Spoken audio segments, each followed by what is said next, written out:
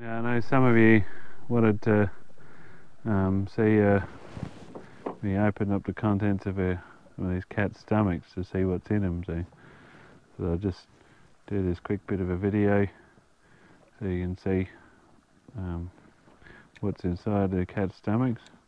Probably going to be mostly mice as we've got a lot of mice around at the moment again. But anyway, we'll open her up and see what's in there. Probably looks like a lot of mice in here.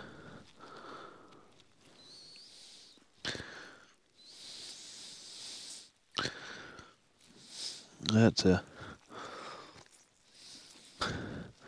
certainly a belly full of mice. Look at all the mice he's eating. Maybe I shouldn't be shooting them.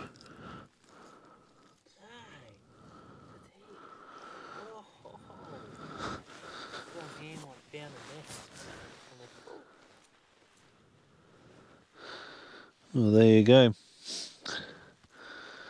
They are doing some good at least.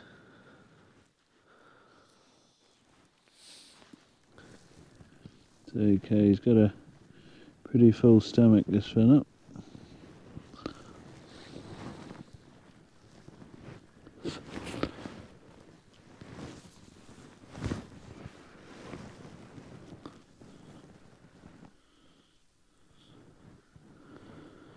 There we go.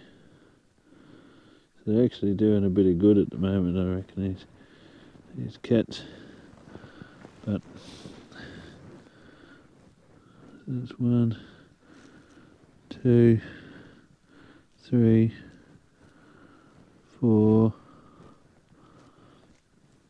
five, six, seven, eight, nine, ten. 11, 12, 13, 14, 15, these 16 mice in his belly. They're all mice, so he's been a good cat, hey mate. Anyway,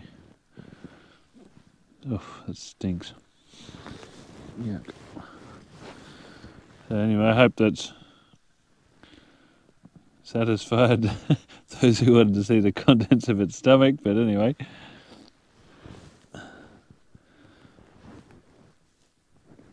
Uh, just as well, he hasn't been eating any little native animals. Sometimes it's a bit hard to tell the difference between a mouse and a little dunnart. A is a little a marsupial mouse thing. They've got a little pouch and babies, but they look they're similar size to a mouse and look very similar. They've just got a little bit fatter tail, and they've got a mouth with a whole heap of little little teeth in them, not like a rodent's teeth. They've got normal like little little teeth in there, little little mouth like a almost like a dog, but a little bit different. Beautiful little animals, but they the cats cats often catch them. You know, I've never really seen too many of them in the wild, but my boss's cats have brought a, brought them inside a couple of times. The worst thing about cats, they catch these beautiful little animals like that, and half the time they kill them and won't even eat them. They just catch them for the fun of it. So, but you wouldn't, you never know how many of those sort of things a cat like this would eat.